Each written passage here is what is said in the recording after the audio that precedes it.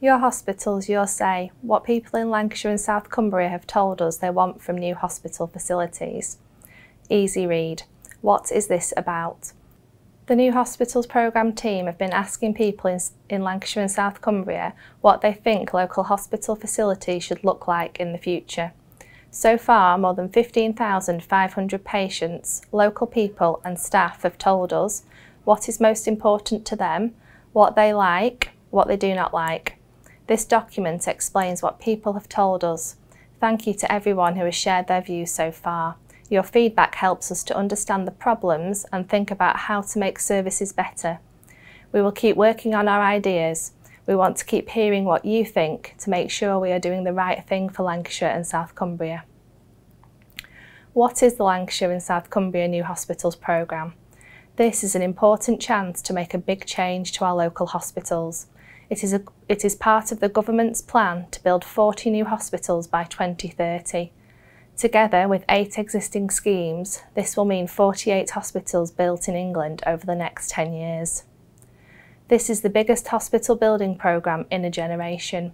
New up-to-date facilities will help us to provide the best healthcare, reduce health inequalities where people do not always get the same access to care or the same chance of living a long and healthy life. We need new facilities because the buildings at Royal Preston Hospital and Royal Lancaster Infirmary are old and not in very good condition. Furness General Hospital in Barrow in Furness also needs updating. Lancashire and South Cumbria is a large and complex region with a wide range of health challenges. 1.8 million people from lots of different cultures and communities live in a mix of cities, towns, the countryside and by the sea. We need to understand the health needs of people of all ages and communities. We are working hard to make sure everyone is included and has a chance to take part. Who has shared their views so far? Since January 2021, we have heard from more than 15,500 different people through more than 30,000 interactions, such as answering our surveys or coming to an event. More than 9,500, about one in three, interactions were with members of the public.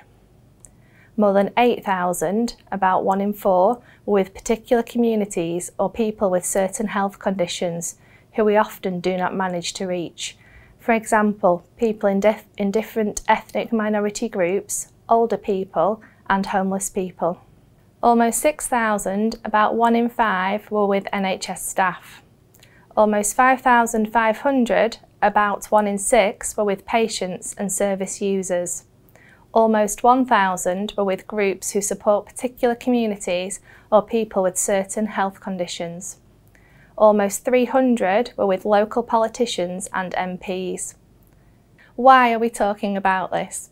We want to make sure local people are aware and informed about our proposals, suggestions for how things could look in the future. People need to know how they can get involved. We want them to feel enthusiastic about what is possible. It is important that everyone understands why and how decisions are made. What process have we been following? We are following a clear and thorough process to give everyone the chance to have their say, help shape the future of hospital care in Lancashire and South Cumbria. First, we had to explain why changes to our hospitals are needed Read more about this at www.newhospitals.info forward slash case for change. Then we developed a long list of proposals for better new hospital facilities.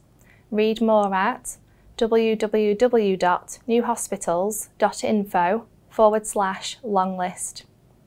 We narrowed this long list down to a short list of proposals. See the shortlist on page 14 or read more at www.newhospitals.info forward slash shortlist. The next step will be to get approval from the NHS and government decision makers. We may need to hold a public consultation to give everyone the chance to have their say, if there will be big changes. Once a decision has been made, we will work together to create the new hospital facilities. What have we been talking about? We have asked people what they think about the hospitals in Lancashire and South Cumbria. People have told us what they want new hospital facilities to look like. They have also told us what worries them about hospitals changing. We have talked about why we need new hospital facilities in our area. We shared ideas for how we might fix the problems with our current hospitals. People helped us decide how to review and test our ideas, which became a list of proposals. We worked together to review the long list, which led to the short list. How did we tell people about the new hospitals programme? We asked questions in surveys, over the phone, in person and online. We talked to people in town centres, at supermarkets and other places. We met with small and big groups of people. We interviewed people and had long conversations to understand their thoughts. We wrote to people and we used social media like Facebook. We put articles and adverts in newspapers, on the radio and on websites. What did people tell us? A lot of people are happy about the new funding for new hospital facilities. Local people, patients and staff understand the challenges and the need to make things better. All groups said travel and accessibility would be very important when they looked at our proposals.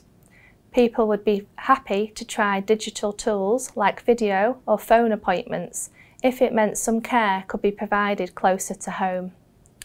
Most people would not be happy with a single new hospital on a new central site. Patients, the public and the different groups we spoke to were worried that services could be further away and that it could be harder to travel to and around the hospital.